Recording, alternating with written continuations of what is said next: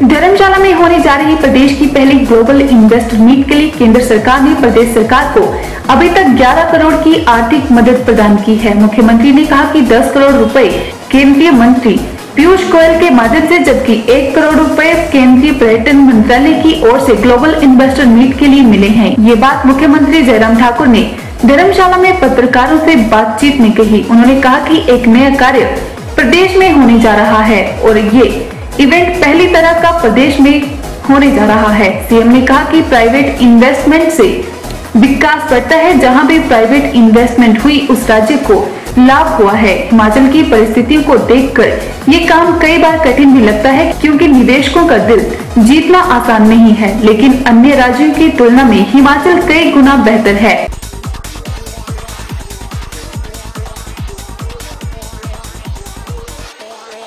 धर्मशाला में प्रेस वार्ता में सीएम ने कहा कि बाहरी निवेशकों का दिल जीतना भी आसान नहीं होता।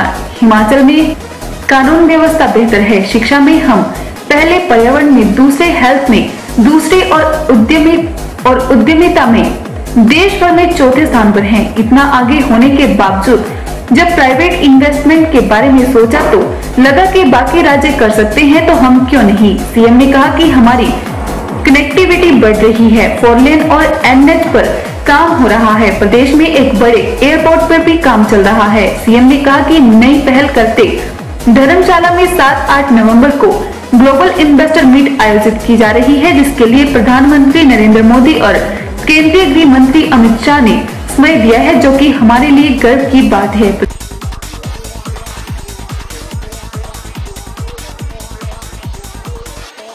प्रधानमंत्री 7 नवंबर को ग्लोबल इन्वेस्टर मीट का उद्घाटन करेंगे तथा आठ नवंबर को केंद्रीय गृह मंत्री अमित शाह समापन समारोह में शिरकत करेंगे। सीएम ने कहा कि ग्लोबल इन्वेस्टर मीट से पहले इन्वेस्टर से बात करने के लिए देश के विभिन्न राज्य सहित विदेशों का दौरा किया, जिसका अच्छा रिस्पॉन्स रहा। सीएम ने कहा कि पहले इन्वेस्टर्स यहाँ से परेशान होकर लौट जाते थे। भविष्य में ऐसा ना हो, इसके लिए इंडस्ट्री पॉलिसी में बदलाव किया गया। इंडस्ट्री पॉलिसी 2019 में बदलाव किए।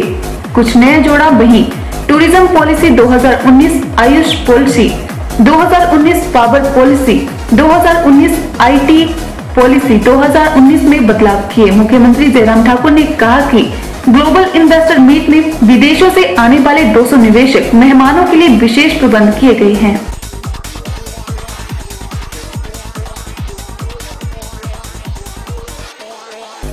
गुरु नानक देव जी का 550वां प्रकाश उत्सव देश ही नहीं बल्कि विदेशों में बड़ी धूमधाम से मनाया जा रहा है। ऊना में भी इसको लेकर सिख श्रद्धालुओं ने श्री आनंदपुर साहिब और सुल्तानपुर लोधी जाने वाले श्रद्धालुओं के लिए चाय पकौड़े का लंगर लगाया गया, जिसमें सैकड़ों की तादाद में 550 से प्रकाश उत्सव में जाने वाले श्रद्धालुओं ने ये लंगर खाया। ये लंगर सिख श्रद्धालुओं द्वारा लगाया गया इनकी माने तो ये एक बहुत बड़ा पर्व है। मालिक ने उन्हें सेवा का मौका दिया है और वे संगतों की सेवा में दिन रात जुटे हुए हैं।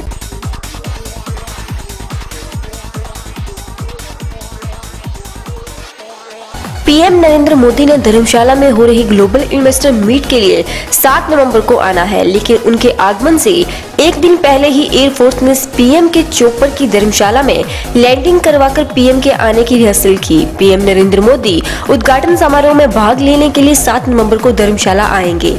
लेकिन पीएम नरेंद्र मोदी के इंडियन एयरफोर्स के विशेष हेलीकॉप्टर धर्मशाला सिंथेटिक ट्रैक में लैंड हुए। इस दौरान सुरक्षा व्यवस्था के पुख्ता बंदोबस्त भी किए गए थे।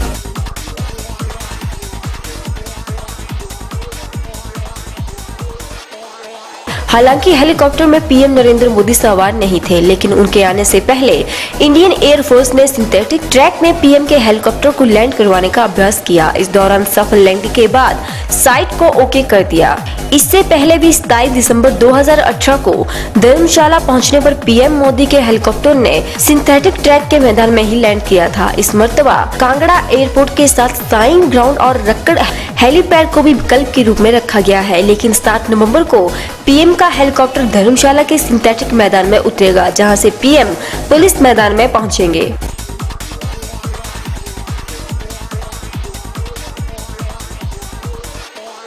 हिंदू संस्कृति में गाय को माँ का दर्जा दिया गया है। गोपाष्टमी पर्व गाय माता को समर्पित है। जिला सोलन में भी गोपाष्टमी पर्व की धूम देखने को मिली। लोगों ने पूजा अर्चना कर गाय माता का आशीर्वाद भी प्राप्त किया। आपको बता दें कि इस दिन श्री कृष्ण और गाय माता की पूजा करने से धन और सुख की प्राप्ति होती है। वज्र में कहा गया है कि यशोदा मैया ने गोपाष्टमी पर पहली बार श्री कृष्ण को गाय चराने के लिए भेजा था। गोपाष्टमी अथवा डेनु पूजा के लिए नंद महाराज ने भगवान श्री कृष्ण को गाय चराने के लिए भेजा था। गोपा अष्टमी पर पूजन करने से भगवान प्रसन्न होते हैं।